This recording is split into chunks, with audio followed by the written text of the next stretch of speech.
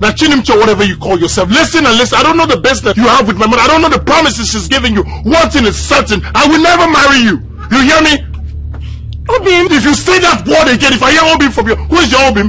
I'm asking you, who is your Obim? Now you go. Say one more word. Lieutenant! Mom, please. Go back to the hospital, conduct whatever heart transplant. It doesn't concern me. Not this.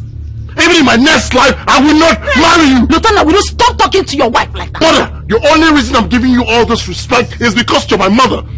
Let this end now. I will not marry this witch. Nonsense. Mama, have you seen it? Bravo. Have you seen it? Chindija, have you seen the embarrassment and shame you're causing the family? Isn't there? Carrying goose up and down, dancing. Have you seen it? Uh-huh. Uh, Papa, don't, don't, don't be on the no progress. You went to where, Shebi? Have all of you seen it now? Mama, Have you seen it? Nobody will listen.